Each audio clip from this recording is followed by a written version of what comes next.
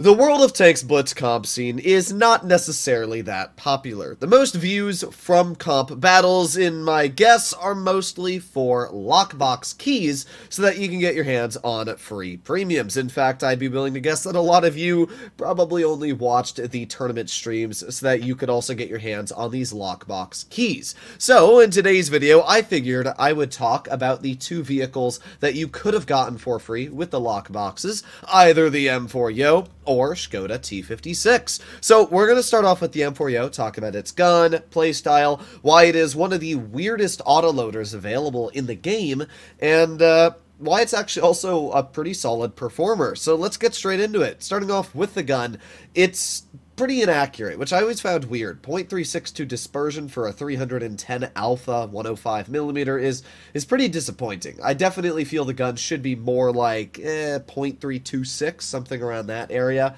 but oh well. The aiming time is also pretty poor at 3.5 seconds. What is pretty solid is the 2156 DPM. It's also a very fast clip reload at only 13.5 seconds. Why? Well, that is because this is an autoloader with a 6.98 second intraclip. Yes, you heard that right. The intraclip on this vehicle is almost as long as the base reload on a Tiger 2. The reason this is actually quite nice, though, is because you have a slightly better DPM value with your four shells than any other real single shot vehicle. And all you need to do is back up for about 13 seconds, which is two shells worth of time, to get that faster reload back once again. So essentially, as long as you have that little bit of downtime to sit and cover, you're always going to out DPM your opponents. It actually allows this tank to be quite confident. Add that into the fact the vehicle's got great standard and premium penetration, and it's got fantastic gun depression, it's actually quite solid. It's also decently mobile, reaching a top speed of 40, a reverse of 18, and and it has the reserve track mechanic where if your track gets broken, you can still reverse at a slightly slower top speed of like, what, 4 kilometers per hour? It's still something. I actually think the M4 Yo is a pretty cool and unique tank, which is uh, something I would like to see brought into tier 10. It'd be very awesome to have an auto reloader that was slightly better on DPM than the average single shot vehicle, but also didn't have great DPM in the grand scheme of things because of the fact eventually you're going to have to reload the clip at a faster time time. Kind of like how the Minnow is on World of Tanks PC. Now, something else I should point out about this vehicle is the very solid armor. The turret is completely round, and with that, even the sides of the turret are around 250 mils thick. It's actually quite impressive. So really the only weak spot when it comes to the turret armor is that hatch on the roof. Now, you can try to hide that hatch by sticking the gun up, as you can see, but yeah, for the most part, it's going to be pretty hard to hide. When using gun depression, that hatch is going to be even more easy to shoot for the majority of opponents.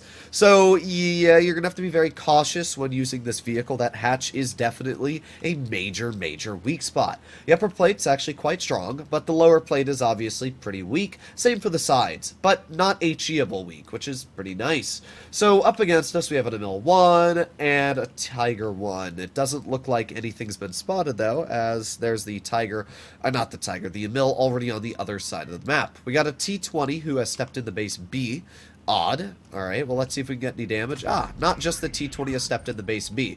So there you go. You can see we've already been able to get one shell out. And we're going to reload here, and boom, there's our second shell.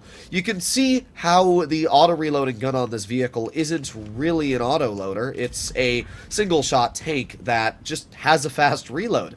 But this reload does feel incredibly fast when you're able to get it to work. So just like that, we were able to get our full clip out of 1276 damage. It obviously took us a pretty solid chunk of time, around 18 seconds, but look at how fast this vehicle's overall clip reload is. We are already back in action just 13 and a half or 14 seconds later. So just like that, we're now going to push over to this T20 and see if we can get some damage into his tank. So here we go. One bonk right into his vehicle.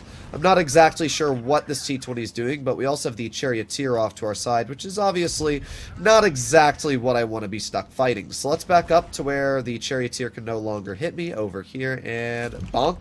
Nice shot into the T-20 once again. Apparently the charioteer was still able to hit us there, but that's fine. We're going to get one more shell. By the way, you can see the terrible, terrible hatch armor. Even though the charioteer couldn't pen us anywhere but the hatch, he hit us both times in it, showcasing really the massive weakness when it comes to this tank. But the good news again, look at this crazy good clip reload. Just in a couple seconds we've been able to get that clip entirely reloaded, and this charioteer is obviously not in the most fun of situations. Now, we just reload the clip once again. Our judo is going to be able to finish off that player, and all that's left is the magnate and T69. So this was a very, very solid game for the M4Yo. It really showcased a lot of the strengths and weaknesses of the vehicle. Yeah, that hatch, especially if you don't put this tank in a proper situation, will let you down big time. But the gun is is actually really solid, especially if used correctly. You can see even though the dispersion isn't very good, the majority of times it still hits its shots because of the fact it's actually got decent on-move dispersion.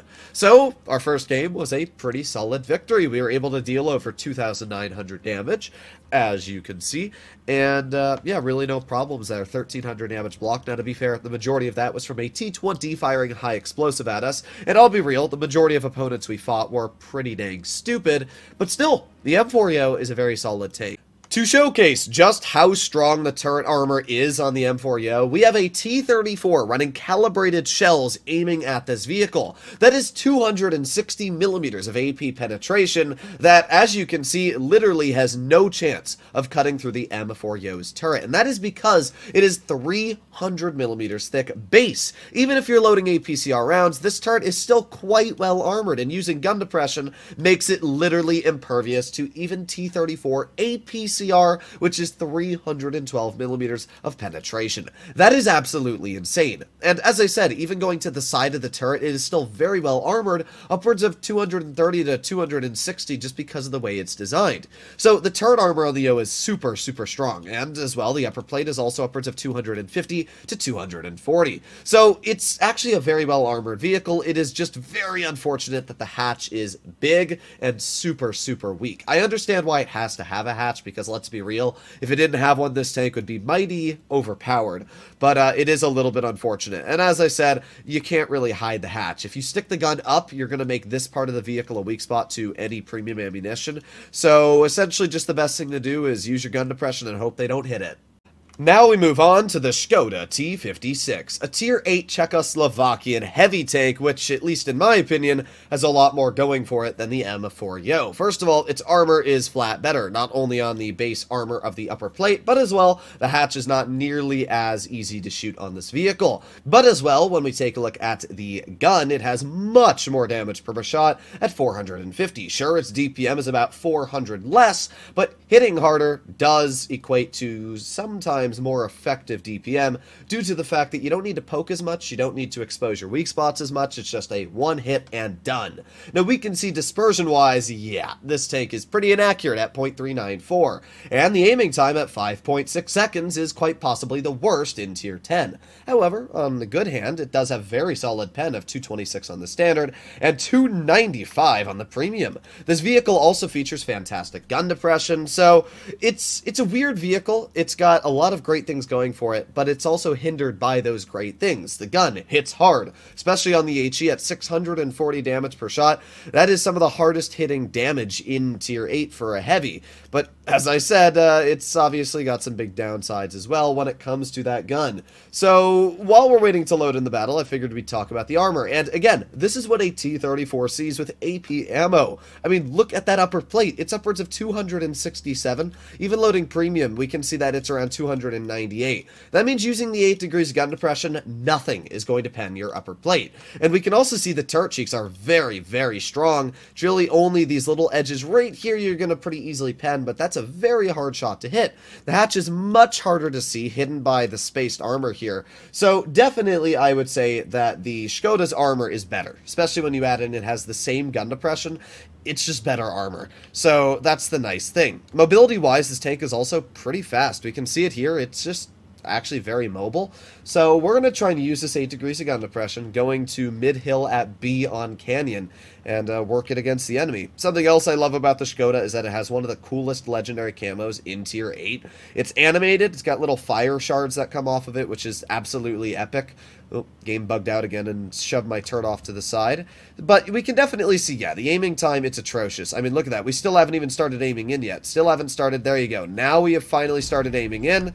And just like that, our shell missed by a quarter mile. So, yeah, the Skoda does have a big old downside when it comes to the gun. Its accuracy. It's, it's tragic. But if you can get it to work, it does feel pretty dang solid. So let's aim in right where the IS-6 is going to cross, and there you go, a nice 420 slap, so not all too bad. All we have over there is a T29, which I can't really say is anything amazing, but trying my best here. We got the uh, Tiger P who might cross this, although doesn't look like he's going to.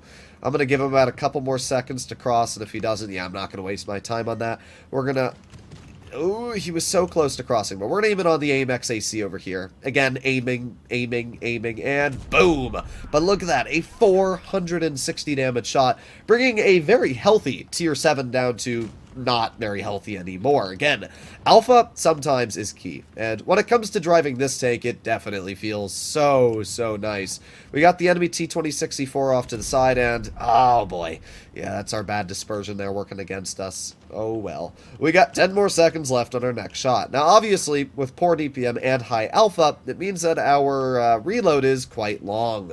So you do have to keep that in mind when using this type of tank, is that you're going to be sitting here reloading for a while. But again, if you're able to connect a shell, well not like that. Oh, wow. All right. Well, you're definitely seeing some of the dis... Ah, I was trying to capture the base and not get shot. Unfortunate for us, I guess.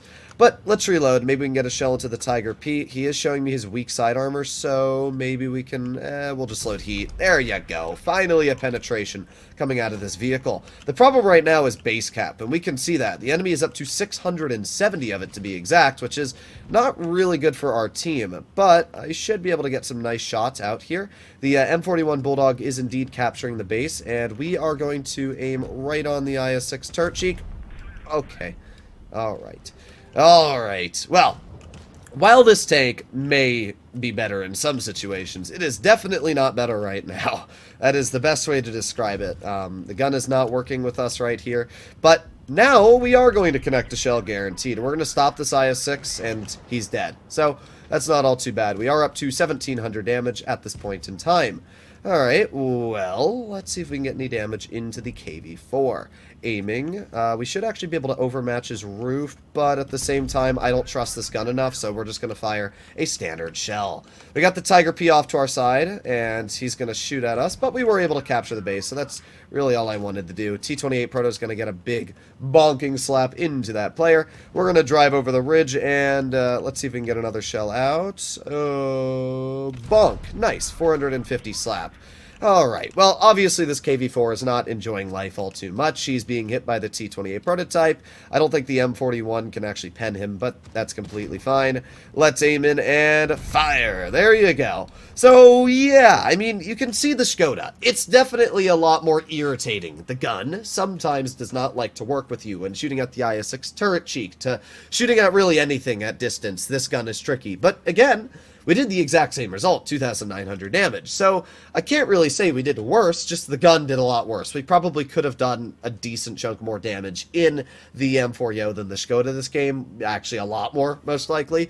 But uh, that's just one of the RNG factors you have with this tank. Late game, especially frontline positioning, this vehicle feels fantastic. And you can see that on my stats. I'm going 84% with 2,700 damage in this vehicle, where my M4Yo, even though the gun is technically better, I'm going 70% with albeit the same damage, but yeah, unfortunately, this tank just doesn't seem to carry as hard due to the way the armor profile is designed and the gun not hitting nearly as hard. So at the end of the day, I still think the Skoda is a better vehicle, but let me know in the comments down below what you guys think. I'll see you all in the next one. Bye-bye.